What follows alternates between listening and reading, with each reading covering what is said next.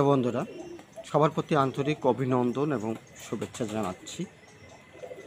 আপনাদের সামনে যে বিষয়টা নিয়ে কথা বলতে চাচ্ছি, সেটা হচ্ছে যে বই পড়া। আজকে আমি বই পড়া নিয়ে কিছু কথা বলতে চাই, যে একটি নির্দিষ্ট বিষয়। আমরা তো অনেকেই অনেকভাবে বই পড়ি, সেটা কেউ প্রয়োজনে কেউ বই পড়ে কেউ শখে বই পড়ে, কেউ জ্ঞান অর্জন করার জন্য বই পড়ে এবং কেউ জানার জন্য বই পড়ে। পৃথিবীতে একটিমাত্র মাধ্যম হচ্ছে জ্ঞান অর্জন করার জন্য, জীবনকে ডেভেলপ করার জন্য, নিজেকে পরিবর্তন করার জন্য। যে যেভাবেই বলি না কেন, তার একমাত্র পথ হচ্ছে জ্ঞান অর্জন করার জন্য, সেটা হচ্ছে বই পড়া। বই ছাড়া আর কোনো উপায়ে মানুষ মানে ভালো জ্ঞান অর্জন করার আর কোনো মাধ্যম আছে বলে আমি মনে করি না। যাই হোক, আমি বই পড়া নিয়েই কথা বলব। যে আজকে কিন্তু যারাই বইকে হাপন করে নিয়েছেন, যারা বইকে, বই সময় দিয়েছেন, বইকে সময় দিয়েছেন, আসলে তারাই কিন্তু একটি জায়গা কিন্তু দখল করতে পেরেছেন। আজকে দেখুন যে আমরা কিন্তু যে হারে বই পড়ার দরকার, বিশেষ করে বাঙালিদের সে হারে কিন্তু আমরা বই পড়ি না।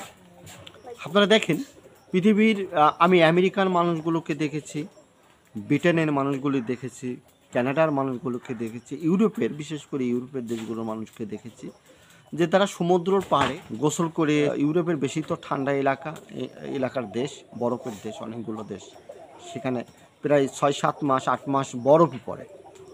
বিশেষ করে সেই ক্ষেত্রে ওরা কিন্তু অন্য অন্য দেশে রদিতে এসে শুয়ে থাকে গোসল করে এবং তখনও কিন্তু তাদের হাতে বই। এবং একটি বই যখন ইউরোপে বের হয়, তখন কিন্তু একটা হইচই পড়ে যায়, কেনার জন্য হইচই পড়ে যায়। মানে তারা বইকে এত সম্মান দেয়, এত কদর দেয়? আর এই বইকে কদর দেওয়ার কারণে তারা কিন্তু উন্নত দেশগুলো হয়ে যাচ্ছে।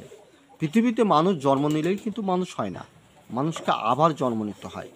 যেমন আমি অনেকবার বলেছি অনেক জায়গায় যে পৃথিবীতে একটি মাত্র প্রাণী তাকে মানুষ হতে হয়। যেমন আপনি দেখুন, ছাগল, যে ছাগলটা পৃথিবীতে জন্ম নিল, সে কিন্তু ছাগল হয়ে জন্ম নিল। এবং মৃত্যুটাও হলো কিন্তু ছাগল হয়ে গাধাটা জন্ম হলো গাধা হয়ে, তার মৃত্যুটা হলো গাধা হয়ে। আর এই ক্ষেত্রে ডিফারেন্সটা হচ্ছে মানুষ। মানুষ পৃথিবীতে হতে হয়। তার প্রথম জন্মটা হচ্ছে মার পেট থেকে, এটা তার প্রথম জন্ম। এবং সর্বশ্রেষ্ঠ জন্ম হচ্ছে শিক্ষা অর্জন করে যে শিক্ষিত হয়, এটা হচ্ছে তার শ্রেষ্ঠ জন্ম। তো এই ক্ষেত্রে আমাদের কিন্তু বইয়ের কাছে ফিরে আসতে হবে। আজকে আমরা দেখি বিভিন্ন বাসা বাড়িতে আমরা যখন যাই, দেখি যে শোকেস ভরা, আপনি দেখবেন যে ওই প্লেট, মেলামাইনের প্লেট বা অন্য অন্য প্লেটে ভরা। কিন্তু আমি অধিকাংশই বাঙালিদের বাসায় আমি দেখিনি যে একটা বুক সেল তাদের ঘরে আছে। একটা বই রাখার।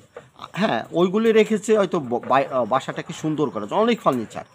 দেখা যায় যে বাসার ভিতর ঢুকলে ফার্নিচার শো পিস ইত্যাদি ইত্যাদি। ভরা। কিন্তু দুঃখের বিষয় যে আমরা ওখানে দেখেই না বুক সেল আছে। যদি বুক সেল থাকতো, তাহলে কিন্তু সেখানে কিছু বই রাখতো। আমরা সত্যিকার অর্থে বলা যায় যে আমরা খুবই অনীহা। বই পড়ার দিক দিয়ে বাঙালিরা খুবই অনীহা। অন্য অন্য জিনিস আমরা কিনতেছি। অন্য অন্য জিনিস কিনে ঘর বোঝাই করে রাখছি অনেক সময় বন্ধু বান্ধবের ঘণ্টার পর ঘণ্টা আড্ডা মারছি। আসলে আমি কি যে বইগুলি বলছি, সেটা একটা নির্দিষ্ট বই।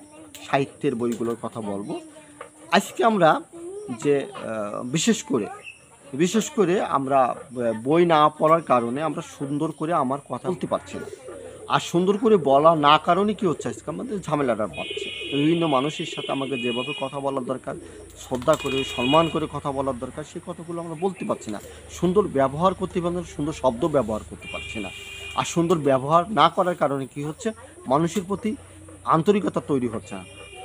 একজন ব্যক্তি, আমি একটা গল্প আপনাদেরকে ছোট করে শোনাতে চাই। একজন ব্যক্তি তার যে কর্মচারী আছে, যে রান্নার কাজ, কুক, তাকে বললেন যে, আমাকে পৃথিবীর সবচেয়ে মিষ্টি যা আছে, মিষ্টি যেগুলো আছে, তা দিয়ে তুমি আজকে আমাকে রান্না করে দিবা, আমার বন্ধু বান্ধবরা আসবে।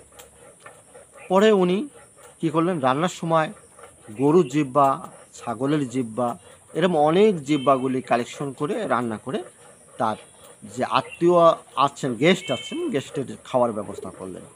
তখন খাওয়া দাওয়া শেষ হলো গেস্ট চলে গেলে উনি বললেন যে, খুব টেস্ট হয়েছে, খুব সুন্দর করে রান্না করেছ। আসলে কি রান্না করলে বলল যে, স্যার, আমি এটা এই জিব্বা রান্না করেছি। এই এই ছাগলের জিব্বা গরুর জিব্বা অন্য অন্য প্রাণীর জিব্বা যেগুলি খাওয়া যায় আর কি, সেই সব। বাহ! জিব্বা এত কিছু থুয়ে তুমি জিব্বা রান্না করলে কেন? বলল যে, স্যার, পৃথিবীতে যত সুন্দর আত্মীয় বলেন বন্ধু বান্ধব বলেন, যা কিছু বলেন, সম্পর্ক টিকে রাখার একটা মাত্র উপায় হচ্ছে জিব্বা এই জিব্বা থেকে যে সুন্দর কথাটা পরিবেশন করা হয়, সেটা সাহায্য করে জিব্বাটা এই জন্য জিব্বা হচ্ছে পৃথিবীর সর্বশ্রেষ্ঠ জিনিস। এর চেয়ে সুন্দর মিষ্টি মিষ্টি কথা। বলে না যে মিষ্টি কথায় ভিজে যায় মানুষ। সুন্দর করে পরিবেশন করা, সহযোগিতা করে জিব্বা তো এই জন্য আমি জিব্বা রান্না করেছি। জিব্বার এই এই হ্যাঁ কথা তো ঠিক সে মেনে নেবে। হ্যাঁ ওকে ওকে কিছুদিন পরে আবার কিছু লোক আসলেন। উনি বললেন যে, আজকেও কিন্তু পৃথিবীর সবচেয়ে সবচেয়ে সবচেয়ে তিতা যে জিনিসগুলো সেই জিনিসগুলো আজকে রান্না করে। মানে এই যে লোকগুলো আসতেছে, এটা আমার অপছন্দের লোকগুলো, বন্ধু হতে পারে আমার অপছন্দের লোক। এই জন্য সবচেয়ে তিতা জিনিস, সবচেয়ে খারাপ জিনিস, নিকৃষ্ট জিনিস তার জন্য রান্না করে। ওকে? কথা মেনে নিলেন? রান্না করা হলো। ঠিক সেভাবে জিব্বা রান্না করে আবার দিলেন। খাওয়া দাওয়ার পর সব চলে গেলেন, বলল, বাহ, আজকেও তো খুব টেস্ট হলো। তা তুমি আজকে কি তিতা জিনিস রান্না করলে? বলল যে, স্যার, এই জিব্বা রান্না করছে। কী ব্যাপার? সেদিকে বললে, এই জিব্বা রান্না করলে সবচেয়ে মিষ্টি, আজকে সেই জিব্বা রান্না বলে সবচেয়ে তিতা। বলল, স্যার, এই জিব্বাকে যে যদি সুন্দরভাবে ব্যবহার না করা হয়, এই জিব্বার জন্য কি হয়? সম্পর্ক তৈরি নষ্ট হয়ে যায়। আপনার মানুষকে মানুষ হত্যা করে, মানুষের সাথে বন্ধুত্ব থাকে না। মা ছেলেকে চিনতে পারে না, ছেলে মাকে চিনতে পারে না, বাবা ছেলেকে চিনতে পারে না, আত্মীয় স্বজন চিনতে পারে না। এই জিহ্বা এত এত এত খারাপ। এই জন্য উনি বললেন যে, আহা, কথা তো ঠিকই। তা এই কারণে আমি বলতে চাচ্ছি, যদি আমরা যদি ভালো বই পড়তে পারি, যদি আজকে আমরা সাহিত্য বইগুলো পড়তাম, পড়ি, তাহলে আমাদের মানসিকতা পরিবর্তন হবে। আমরা মানুষকে উপকার করার চিন্তা আসবে। আমরা মানুষকে উপকার করতে পারব। কারণ মানুষের মন বুঝব পৃথিবীর একমাত্র মন চেনার উপায় হচ্ছে সাহিত্য বইগুলো। আমরা যদি সাহিত্য বইগুলো পড়ি, তাহলে কি হবে? আমাদের পরিবর্তন হবে। আজকে আমরা দেখি, চার হোটেলে বসে বসে ঘণ্টার পর ঘণ্টা আলোচনা করতেছে, কোনোই নাই। এবং এই আলোচনা করতে যে কি হচ্ছে, একজন সাথে একজন মারামারি বেঁধে যাচ্ছে কারণ উনি যে কথাগুলি বলছে, আরেকজন বলছে, না, এটা হবে না, এইভাবে হবে। হ্যাঁ না, আমি যেটা বলছি সেটাই ওকে। আরেকজন বলছে, আমি যেটা বলছি সেটাই ওকে। আমার সিদ্ধান্ত রাইট সিদ্ধান্ত, আমি যেটা বলছি এটাই সঠিক। তুমি যেটা বলছো সেটা সঠিক নয়। কেননা ওই দুইজন ব্যক্তিই জানে না। যে বলছে সেও ভুল বলতেছে, আর যে আবার তর্ক করতেছে সেও ভুল বলতেছে। কেন তাদের কোনো শিক্ষা নেই। এখান থেকে অল্প শুনছে, ওখান থেকে অল্প একটু শুনছে, ওরা মন্দির করতেছে, আগে পিছিয়েই নাই। আমরা একটা সেদিনকে গল্প পড়ে শুনে আসলাম, একটা বইতে লেখছে যে বিমান কীভাবে চালানো যায়। একজন লোক উঠলেন বিমানে বিমানে উঠে দেখ বই, বিমান কীভাবে চালাতে হয়। তো ওটা যেভাবে বিমান চালাতে হয়, সেভাবে ধরলেন বিবাহ উপরে উঠে গেল। শিখতে শিখতে শিখতে চালা দেখতেছে বই দেখতেছে আর চালাচ্ছে। কিন্তু বিমান আকাশে উড়ে গেছে। উড়ে যাওয়ার পরে যে জিনিসটা এসে দাঁড়াল, যে লাস্টে দেখা গেছে যে বিমান কীভাবে নামাবে। এখন যখন নামাবার কাছে লেখা, ওই জায়গায় লেখা যে বিমান নামানোর নিয়মকানুন দ্বিতীয় খণ্ডে আছে। এখন বেটা কি করবে? ও পড়তে পারতেছে না মাতু পারতেছে না। লাইট করব। আমরা মেধাটাকে যে আপডেট করব, তার জন্য কি? ওই মুষ্টিময় স্কুলের নিয়ম বাদ্ধা কিছু বই পড়েই কি আসলে আমরা জ্ঞানী হয়ে যাব? এটা সম্ভব? এটা সম্ভব নয়। সম্ভবটা হচ্ছে আপনাকে সকল বিষয়ে জ্ঞান থাকতে হবে। তার জন্য একটি নির্দিষ্ট কিছু বই পড়ে স্কুল কলেজের নির্দিষ্ট বই পড়ে একটা জ্ঞানের পরিপূর্ণ মাপকাঠিতে বিচার করা যায় না। মাপকাঠিতে বিচার করতে হলে আপনাকে অনেক ধরনের বই পড়তে হবে। এই ক্ষেত্রে আমি আপনাদেরকে দৃষ্টি আকর্ষণ করব যে আপনারা যে যেখানে আছেন বই পড়ে মানুষ লাভবানই হয়। আজকে আমাদের ছেলেরা দিকে তাকায় দেখেন তারা সারাদিন এই মোবাইলে ফেসবুক দেখতেছে, এ দেখতেছে, ও দেখতেছে, এটা, সেটা দিয়ে মাথাটা নিচু হয়ে যাচ্ছে আমাদের। মাথাটা উঁচু হচ্ছে না। আমরা বিদেশের মাটিতে যেয়ে ডিগ্রি পাস করে ইংলিশ বলতে পারি না। ডিগ্রি পাস করে বাংলা ঠিকমতো পড়তে পারি না। ঠিকমতো কথাটা বলতে পারি না। তার জন্য দরকার আমাদের বই পড়া। আমরা যদি বই পড়ি, তাহলে আমাদের মানসিকতা পরিবর্তন হবে। আমরা মানুষকে উপকার করার চিন্তা ভাবনা আমাদের ভিতরে আসবে। এটা আমি আপনাদেরকে বলব যে আপনারা বই পড়ুন। একটু প্রতিদিন বেশি না হলেও এক ঘণ্টা বই পড়ুন এক ঘণ্টা বই পড়া। আমাদের রেওয়াজই নাই বই পড়া।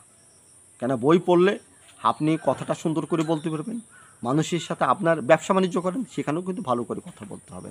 আপনি ডাক্তারি করেন, সেখানেও আপনাকে ভালো করে কথা বলতে হবে। ভালো করে কথা বলতে হবে না কোথায়? একটি মানুষ যদি প্রতিদিন এক ঘণ্টা করে যদি সাহিত্যর বইগুলি পড়ে, তাহলে তার মানসিক পরিবর্তন হবে।